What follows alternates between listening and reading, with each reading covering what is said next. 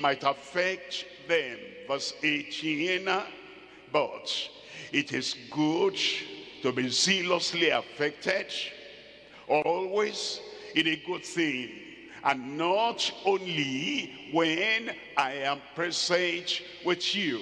Verse 19, my little children, of whom I travail in birth again, until Christ be formed in you.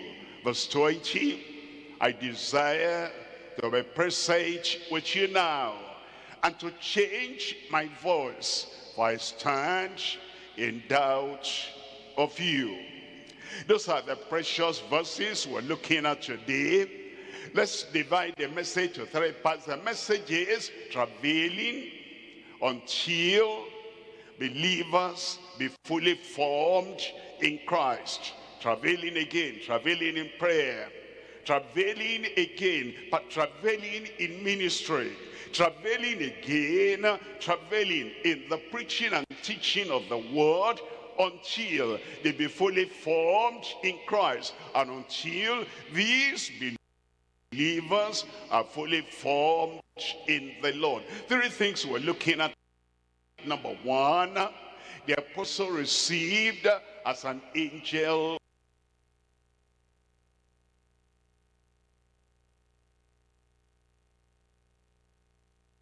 as an angel of God. Look at uh, Galatians there, chapter 4, verse 12. Brethren, I beseech you, I beg of you, I plead with you, be as I am, for I am as ye are. Ye have not injured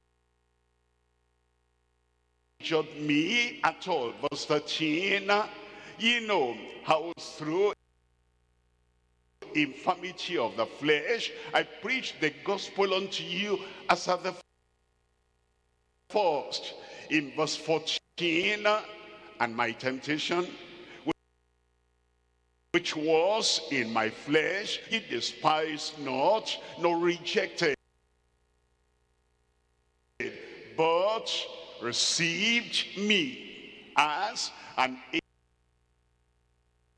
angel of God, even as Christ Jesus, the apostle, received as an angel of God. Three things we're looking at here. Number one, recommitment to Paul's pattern of apostleship. Number two, remembrance of Paul's preaching despite affliction. Number three, response to Paul's persuasiveness as to an angel. Look at number one there. Number one, recommitment to Paul's pattern of apostleship. He declares this in verse 12. Look at that verse 12. It says, brethren, it was referring to the Galatians because he had preached the gospel to them. They had repented of their sins. They had believed on the Lord Jesus Christ as the Savior as the only Savior, as the sufficient Savior, as the transforming Savior. Because of that, he called them brethren. He said, I beseech you, I beg of you, I plead with you, be as I am, for I am as ye are. Be as I am, for I am as ye are. What could he mean by that? The Galatians were Gentiles. Paul the apostle was a Jew. And as a Jew, normally and naturally, the Jews had nothing to do with the Gentiles.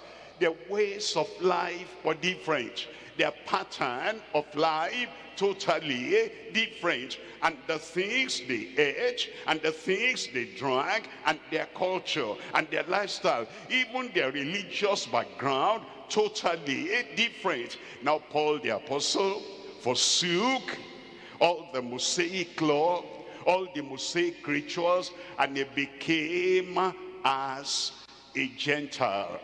And he did not distinguish himself anymore or differentiate himself anymore from the Gentiles. He went to them. He lived with them.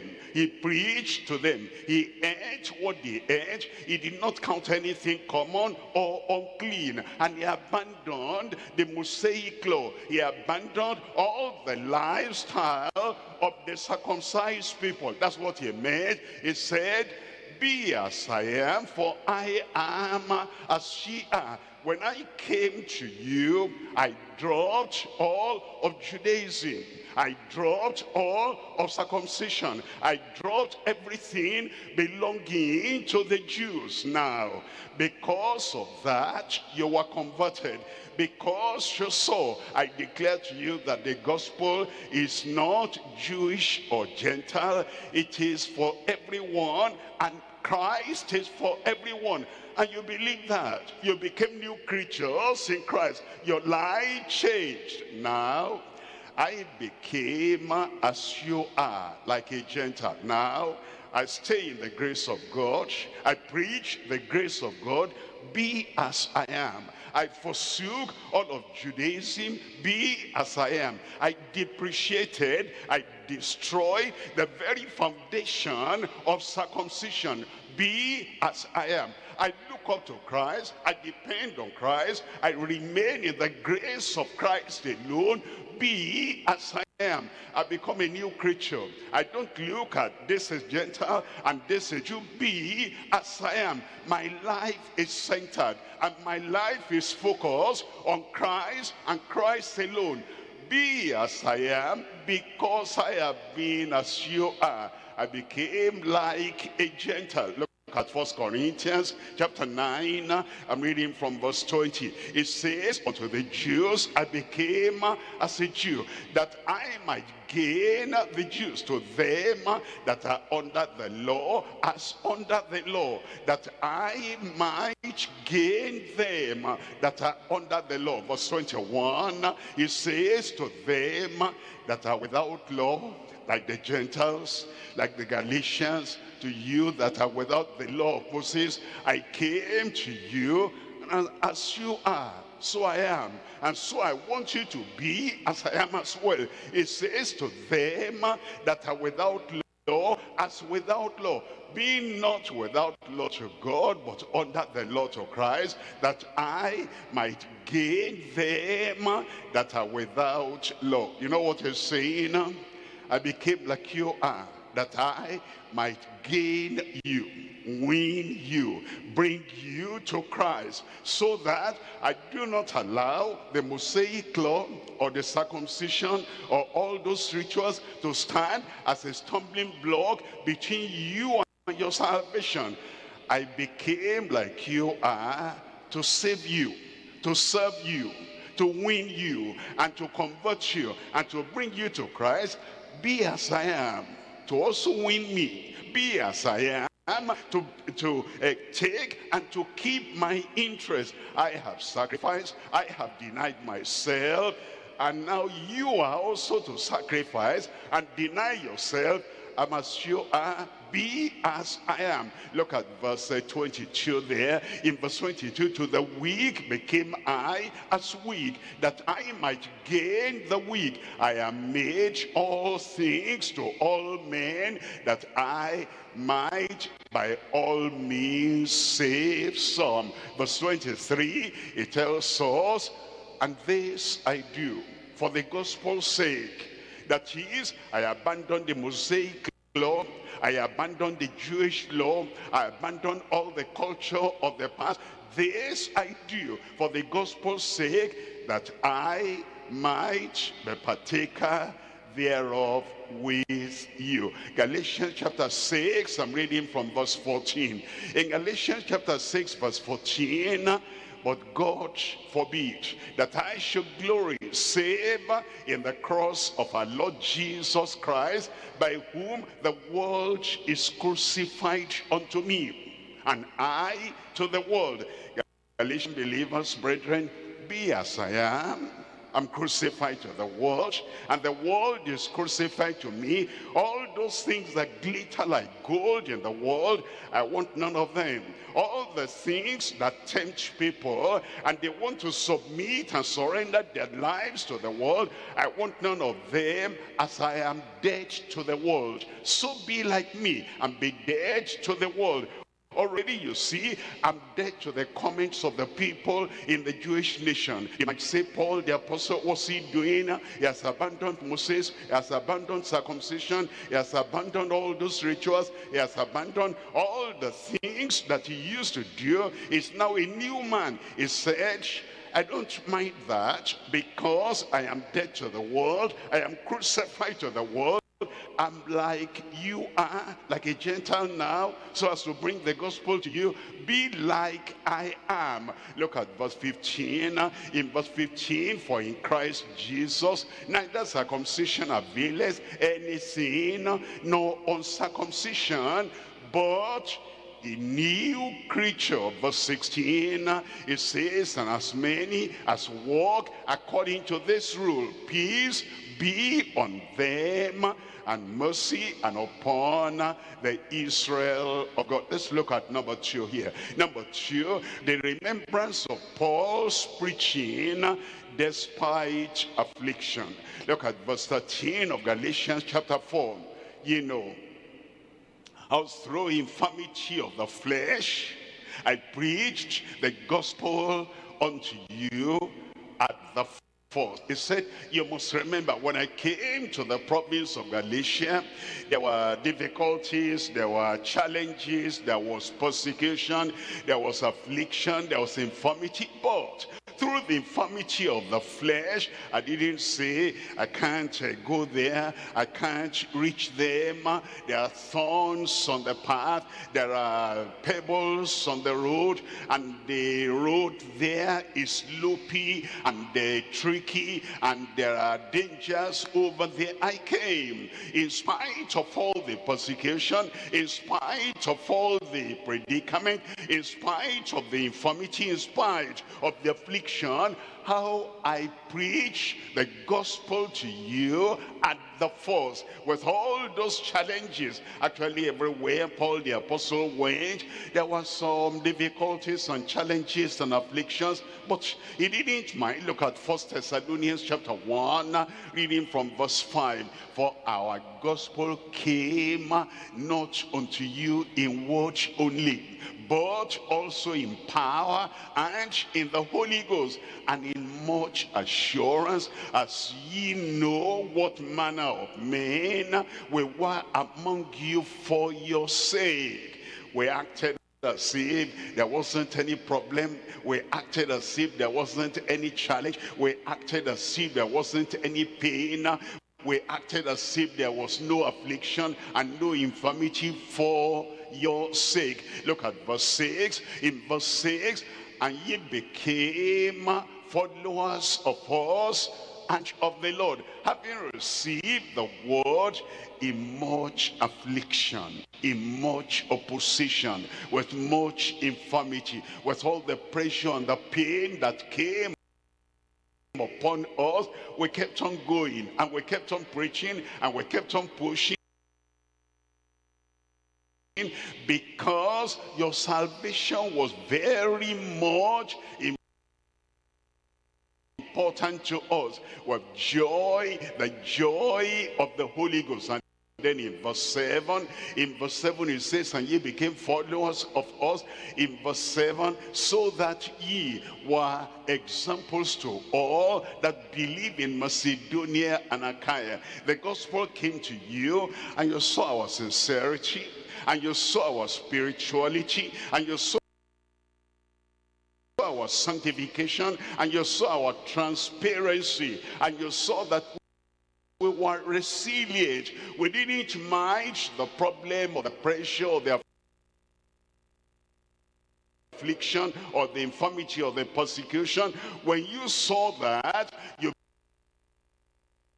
became examples to and followers of us and to all that believe in Achaia and in Macedonia. Then in verse 8, in verse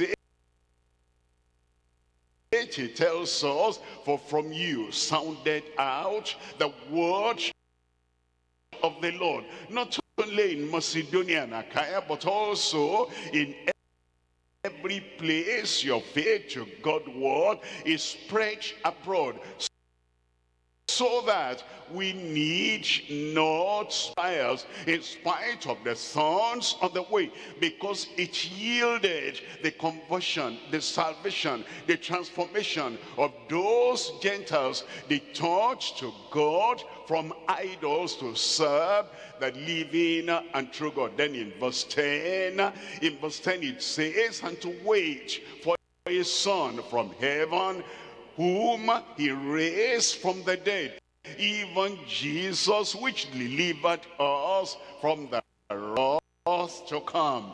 To see multitudes of people delivered from the wrath to come, from eternal punishment in eternal hell. Whatever affliction, whatever persecution, whatever infirmity we endure, so we can bring that life, soul-saving gospel unto the people it's worth it. We're looking at uh, number number three here. Number three, response to Paul's persuasiveness as an angel. It tells us in Galatians chapter 4 verse 14, and my temptation which was in my flesh, ye despise not. What does that mean? Uh, Paul the apostle as he went about preaching the gospel, there were times they stoned him and it left some scars on his body. There were times they beat him and it led some weakness in his body. There were times he was shipwrecked and that led some mark on his body. And when you saw him, you will see that this has been a persecuted man, a beaten man. You will see that this man is uh, a stoned man. He had been stoned. And you see that this man has gone through a lot and it was telling on his body. Yet, in spite of that, he went on preaching the gospel. And he didn't mind that there was see scars on the face or see scars in different parts of the body. Or they will see that it's not like, you know, as agile, as, um, as able, as physically fit as a teenager. Because of what he had gone through. But all the same he said, my trials, my temptations, which was in my flesh, ye despise not, nor rejected, but you received me as an angel of God, even as Christ Jesus. That is, they received the word that was preaching as they would have received if an angel had come from heaven and spoken to them directly. They received the gospel he was preaching to them as if Christ himself would descend from heaven and preach that gospel unto them. As they will not argue with Christ they didn't argue with with Paul the apostle. As they will not argue with an angel of God They did not argue with Paul the apostle because they received him, they received his message, they received his ministry, they received this ministration as if an angel of God had come to them preaching to the first Thessalonians chapter 2 reading from verse 13 in first Thessalonians chapter 2 verse 13 for this cause also we thank God without ceasing. Because when when ye received the word of God which ye heard of us you didn't look at our physical appearance at our weakness physically. You didn't look at anything worldly anything earthly anything on earth anything of the world anything natural anything human but you heard the word of God, you received the word of God, which he had of us. You received it not as the word of men, but as it is in truth the word of God which effectually worketh also in you that believe. That's how you received the word of God. Galatians chapter 3 verse 19. In Galatians chapter 3 verse 19, wherefore then service the Lord. It was added because of transgressions till the seed shall come to whom the promise was made and it was ordained it was ordained by angels in the hand of a mediator. When the, when the law came to the children of Israel, angels took part in the proclamation, dissemination, and in the telling them of that law. And then Paul the apostle said, like you see now in chapter 4, when I brought the gospel to you, it was like the angels brought the law to the children of Israel. And without arguing with the children of Israel or with the angel, how, why, when, how should that be? you received the same when I gave you the gospel as if I was an angel of God. I pray that that same attitude will continue to manifest in Jesus' name. I thought headquarters will say amen. Let's come to number two now. Number two, their affection reflected in accepting the gospel. We're coming to Galatians chapter 4, verse 15, where then is the blessedness ye speak of. Paul the apostle reflected on the blessedness of the past, their acceptance of the past, and their readiness of the past in accepting the word completely. As reflected in this section, we're looking at number one, the former affection through God's grace. Number two, the failing attitude of the graceful Galatians. Number three, the fervent admonitions not for their good. Let's look at number one. Number one, the former affection through God's grace. It tells us in Galatians chapter 4 verse 15, it says, well, is then the blessedness you speak of. For I bear you record that if it had been possible, ye would have plucked out your eye, your own eyes, and have given them to me. That's the love they had for him before. That's the affection they had for him before. They so appreciated him. And they were so grateful to God that a man should come and show them the way to life eternal. That a man should come and show them how to be delivered out of the darkness of Gentile religion and to be brought into the light of the gospel of the grace of God. They so loved him. They so liked him. They so appreciated him. They were so glued to him in affection and intimacy that if it were possible, if he needed eye transplant, they would have plugged out their eyes and would have given unto him.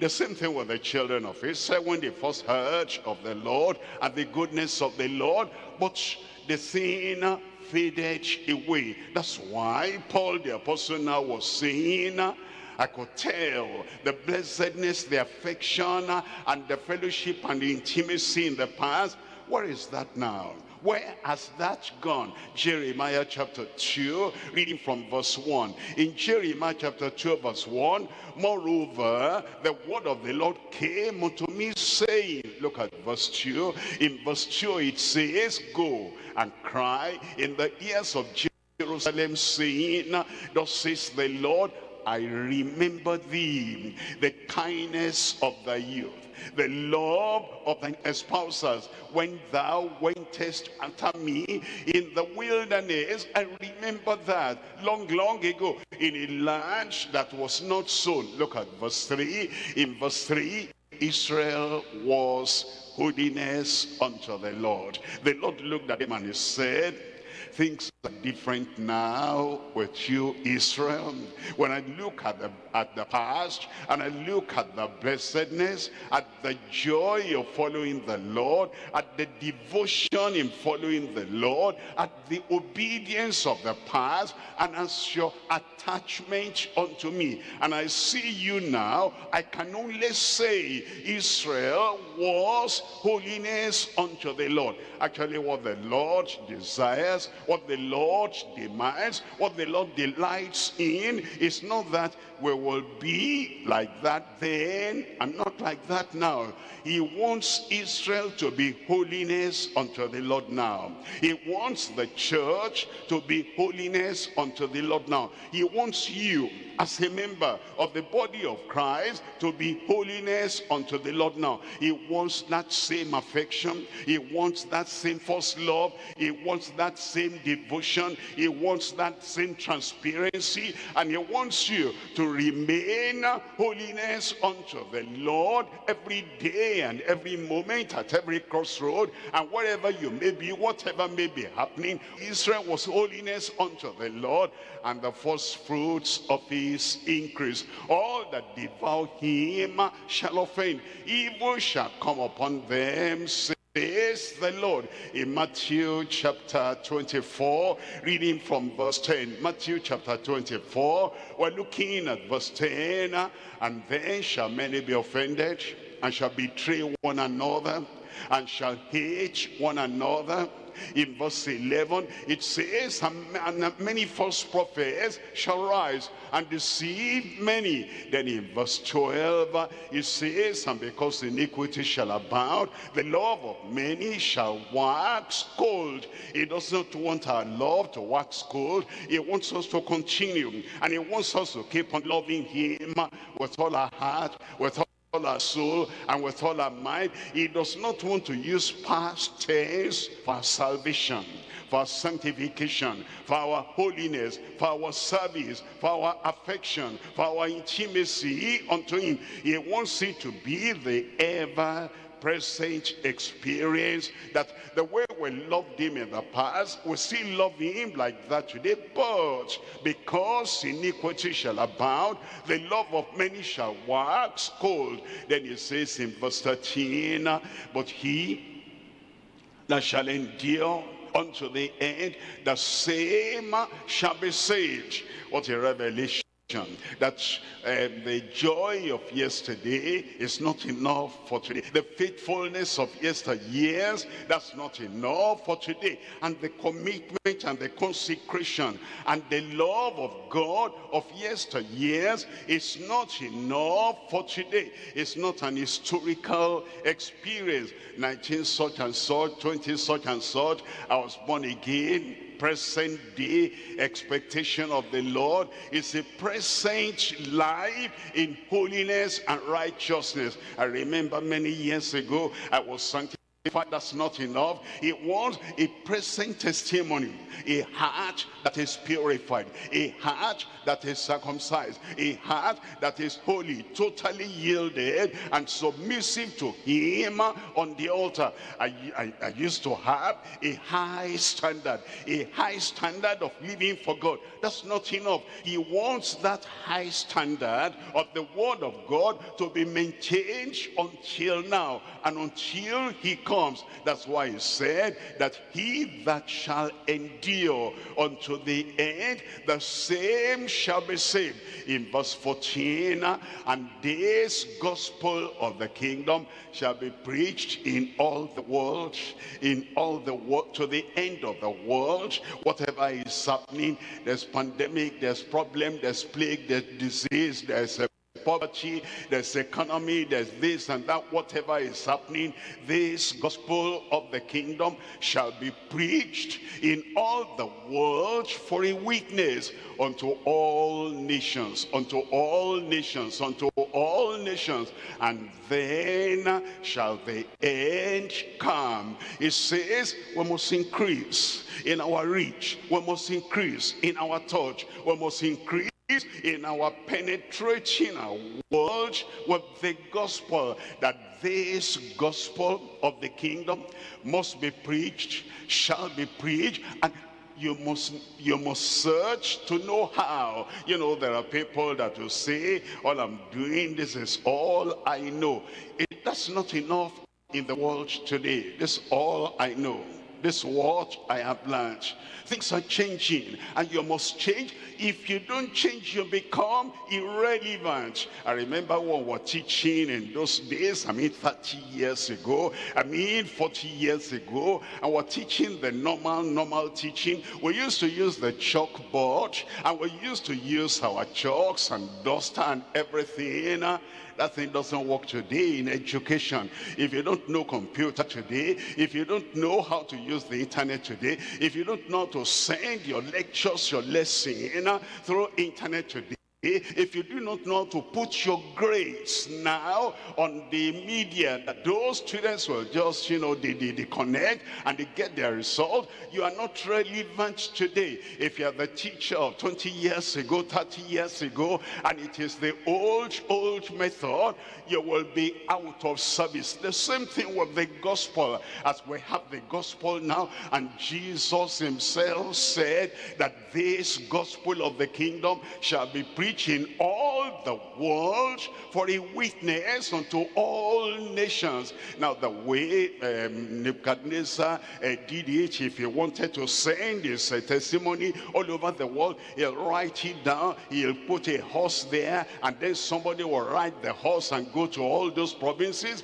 You cannot do that today. You use the media now. And those who are sitting back in our church and say, deeper life, what are we doing now? We're doing what Jesus wants done. We're sending the gospel to all the world come on board and join us and whatever you can do. Bring your time bring your skill bring your money bring everything. This gospel shall be preached in all the world and many will come to the lord in every nation through you through me and through us together in jesus name. And somebody there will say amen. It will be done and you'll be part of it I will be part of it. I will be part of it. The Lord bless the work of your hand for the salvation of souls in Jesus' name. And look at number two here. Number two here, the failing attitude of the graceful Galatians. Failing attitude. Look at Galatians chapter 4, verse 16 Am I therefore become your enemy because I tell you the truth? Now, the attitude of uh, the Galatians uh, was winning. It was declining. It was going down. He said, I remember the blessedness of your love, your affection for me at the beginning. But now I told you the truth. Now I told you that Christ Jesus is the only way.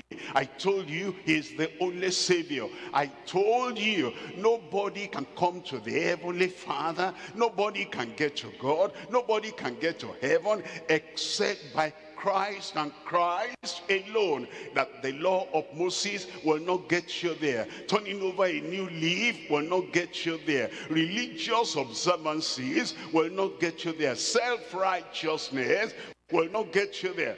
That's the truth. And now the blessedness that I saw before that you could pluck out your eyes and give that to me. I can't see that anymore. It's like now you are withdrawing yourself from me. I can't even see you and I can't even talk to you. Where are you? It says, am I therefore become your enemy because I tell you the truth? Now, that's about Galatians and Paul the apostle. Let's talk about ourselves.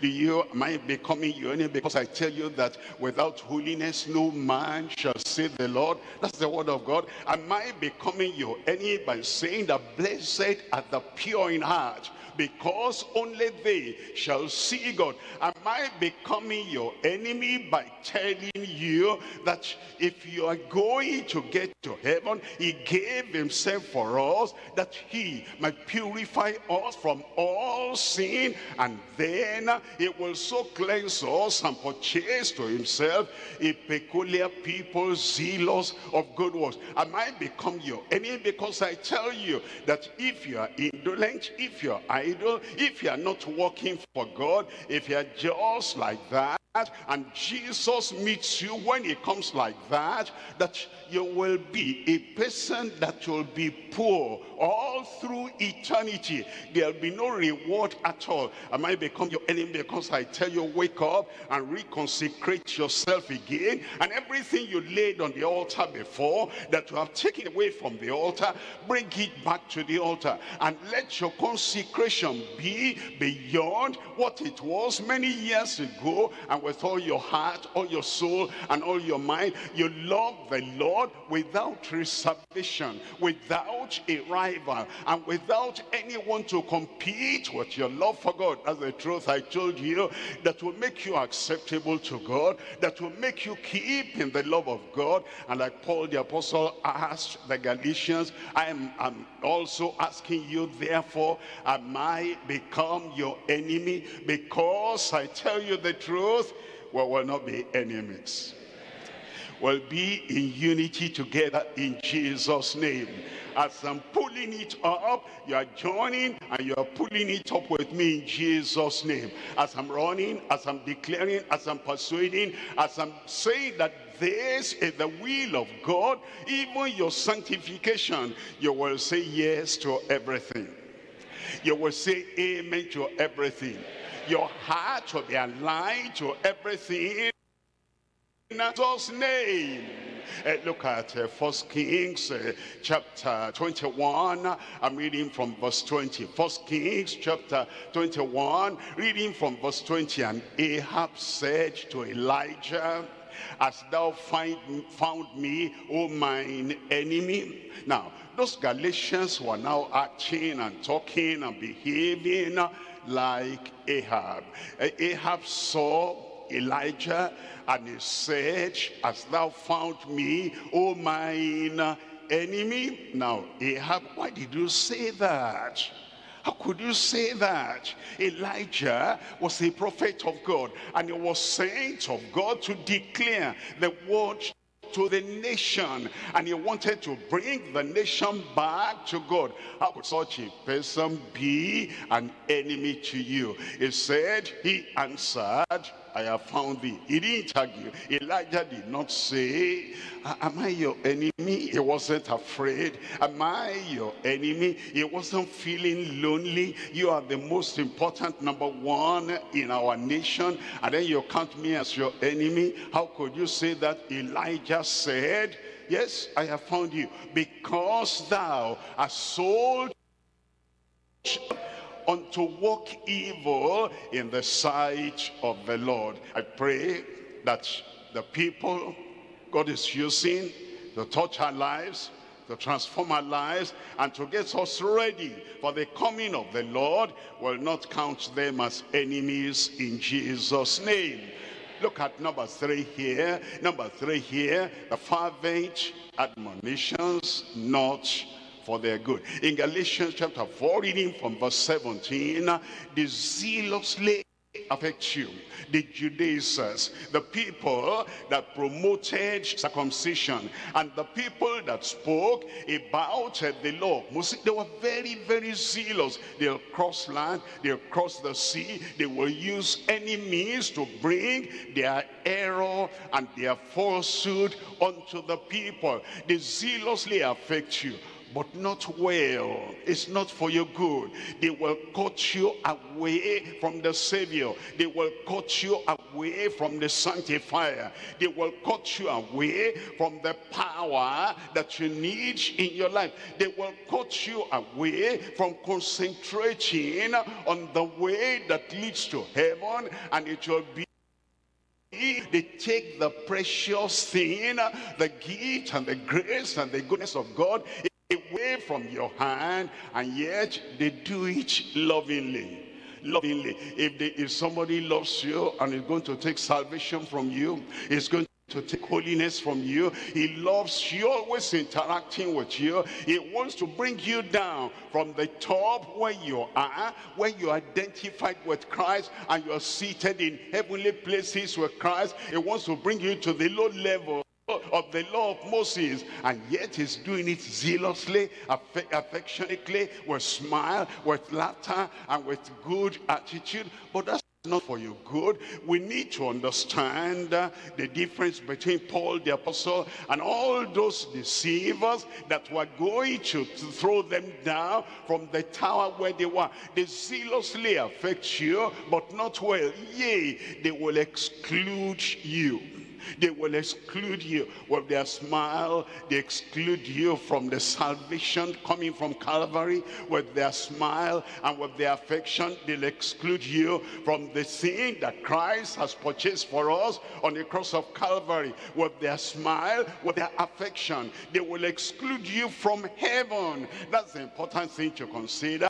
They will exclude you that ye might affect them. All they want is for you to please them, for you to make them happy at the expense of your losing heaven. Make them happy at the expense of your being caught away from Christ. Look at verse 18.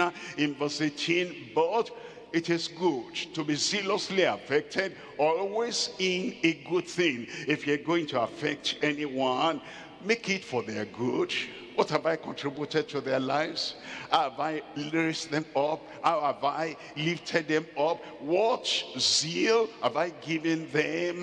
What commitment have I given them? If you're going to be friends with anyone, you must ask yourself, what's he adding to my life? What's she adding to my life? How is she helping me? How is she making me to come nearer and nearer and nearer to Christ?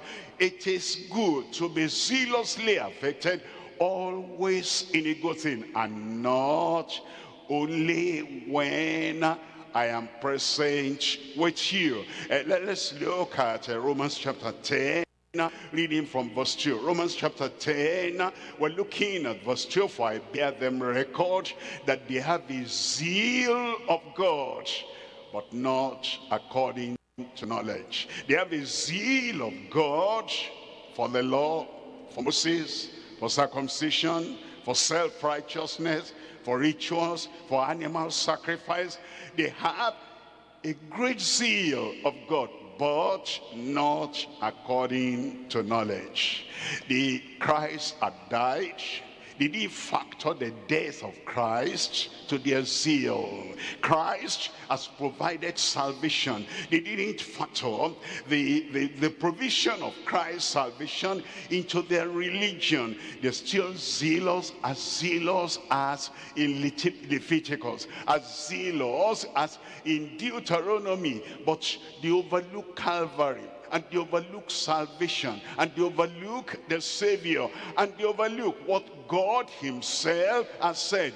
This is my beloved son. Hear ye him and any soul that will not hear him will be cut off from the people. That was their problem. The lord does not want us to have zeal without knowledge zeal without truth zeal without the gospel, zeal without salvation, zeal without the provision of Christ from Calvary. And I pray our zeal will go along with the word of God in Jesus' name.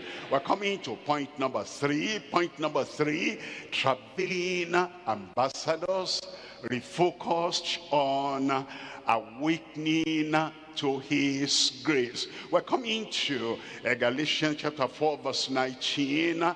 My little children of whom I travail in birth again until Christ be formed in you. What does that mean? It's uh, giving us a picture of Christ standing at the door of the heart and knocking that if anyone opens the door, I will come in unto him, I will dwell there, I will abide there, I will sup with him, and fellowship with him. Now, he's using the picture that Christ was on the inside of them.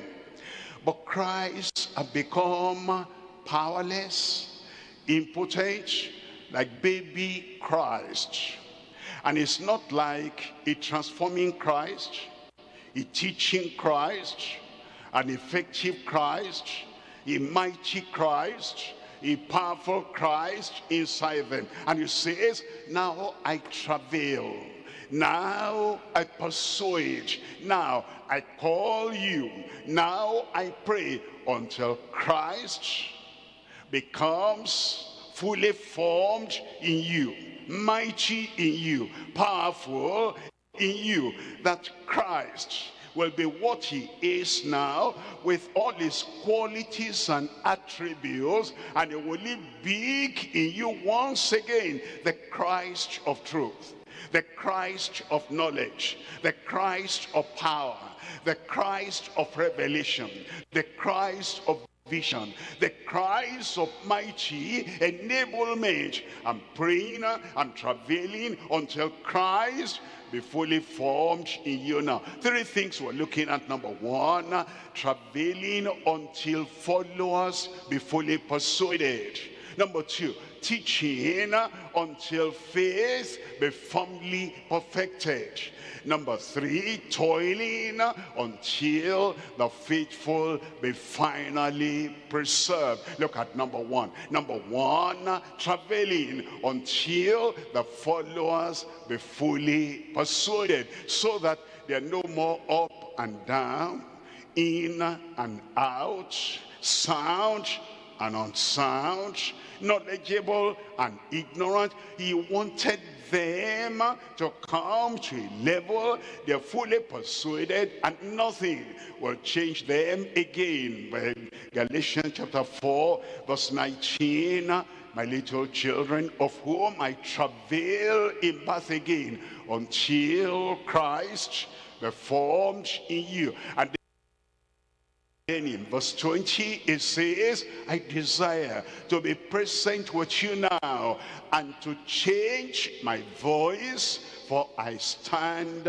in doubt of you. Look at Ephesians chapter 4 reading from verse 14. Ephesians chapter 4 verse 14 that we henceforth be no more children tossed to and fro carried about with every wind of doctrine by the sledge of men and cunning craftiness whereby they lie in wait to deceive. Then in verse 15 it says, but speaking the truth in love, ye may grow up.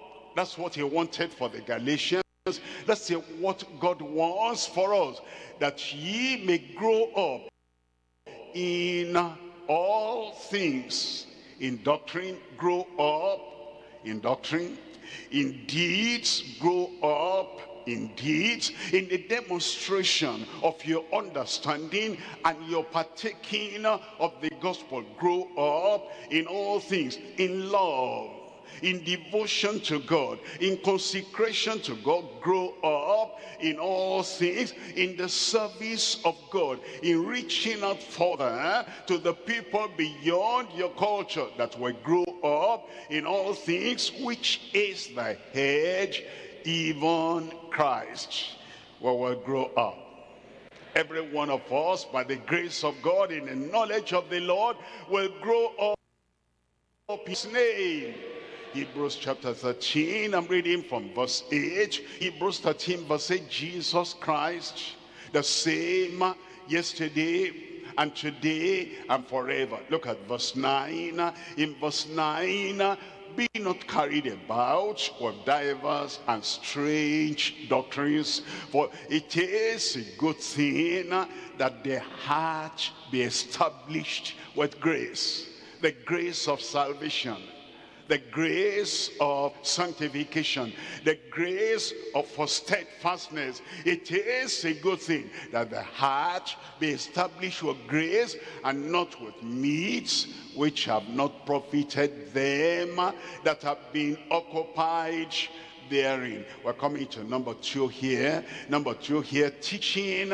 until our faith be firmly perfected. Teaching until our faith be firmly perfected. Uh, look at um, Thessalonians chapter 3 and we're reading from verse 10 night and day praying exceedingly that we might see your face and might perfect that which is lacking in your faith that was the desire of Paul the apostle that anywhere he went to any fellowship assembly congregation he went he wanted to see their face that he might perfect that which was lacking in their faith. Look at verse 13 there. In verse 13 there to the end, he may establish your hearts unblameable in holiness before God. Even our Father at the coming of our Lord Jesus Christ with all he says. We're looking at Colossians chapter 1 Reading from verse 28, Colossians chapter 1, verse 28. When we preach, warning every man and teaching every man in all wisdom, that we may present every man perfect in Christ Jesus. That we may perfect, present every man perfect in Christ Jesus. Verse 29, in verse 29, whereunto I also labor, striving according to his working, which worketh in me mightily. I pray that it will work also in you mightily in Jesus' name. Number three here, we're toiling until the faithful be finally preserved. Toiling and walking until the faithful be finally preserved. In Philippians chapter 1 verse 10, that she may approve things that are excellent, that she may be sincere and without offense till the day of Christ. Amen. We don't know Christ will come but every day and every moment, we so live our lives in the grace of God that we're sincere and without offense, offense towards God, offense toward man, when without offense till the day of Christ. In verse 11, verse 11, being filled with the fruits of righteousness, which are by Jesus Christ unto the glory and the praise of God. I pray you stand firm. You stay committed and you stay stable and steadfast until the very end in Jesus name. If that's going to happen revelation chapter 2 verse 25 revelation chapter 2 we're looking at verse 25 but that which ye have already that which ye have already christ knows we have something already the angels know we have something already. Paul the apostle knew that the Galatians had something already, but the Judaizers were trying to take that out of their hands. I have something. You have salvation, you have something. You have sanctification, you have something. You have the service of God in your hand, you have something. You have the love for God, you have something. Uh, that which ye have already, hold fast till I come. Who is going to hold fast? Steadfast until the end. Where are you? Hold fast until he comes. And the grace of God abide in your life in Jesus' name. Let's rise up now and talk to the Lord in prayer. That good thing that we have, the salvation, the experience, the power, the glory, the godliness, the presence of God, every good thing we have, hold fast until he comes.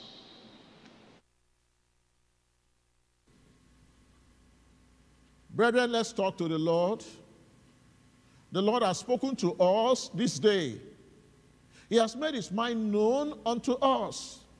He has challenged our faith, challenged our commitment, challenged our determination to follow through the mind and the will of God. The Lord is telling you and me today that we need to re examine our commitment unto Him and the things we are ready to give in order for the gospel to reach a wider audience. Not only that, what we are ready to give in order for those who have already been born again to be fully formed, to become fully formed in Christ. We need to recommit ourselves to the pattern of the apostleship.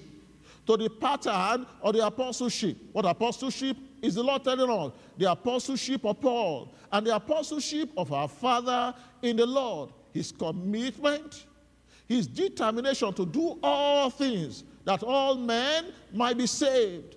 His commitment to follow through the Great Commission, to make sure that people are fully formed, doing everything that all who come to the knowledge of Christ are not, do not remain babes in the faith, but they become matured men, mature women who themselves can be used to reach out to others. The Lord is calling us. He said, Brethren, I beseech you, as I am, for I am as ye are. Ye have not injured me at all. Ye have not injured me at all. Paul the Apostle said, Well, you may be wondering what is happening to me and begin to look down on my physique and saying his words more, command more respect than his bodily presence. But all the same, I bear this mark as a badge of honor, all that I have all the marks I have in my body, I bear them as a badge of honor because I'm in the business of my Savior. I'm in the business of my Lord. Ministers, servants of God, the cross the Lord has asked to call us to carry may not be light all the time, but all the same, the Lord said we should carry it joyfully. We should continue joyfully, carry the cross joyfully. It was, The apostle said, I became all things to all men, that I might by all means win some. And unto the Jews I became as a Jew, that I might gain the Jew. To them that are under the law, as under the law, that I might gain them that are under the law. To them that are without the law, as without the law. Be not without law to God, but under the law of Christ, that I might gain them that are without the law.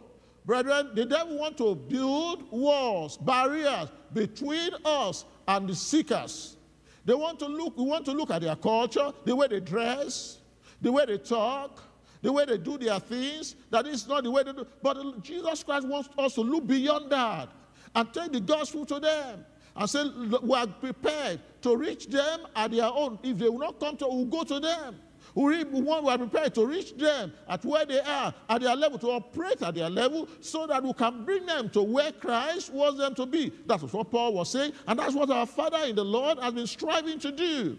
We cannot allow our traditions, we cannot allow our personal persuasion to stand between us and establishing the believers in the faith. Paul the Apostle said, I will spend and be spent so that you can become who you ought to be in the Lord. I will prepare to spend and be spent so that the young believers, the young converts, can become what they ought to be in Christ.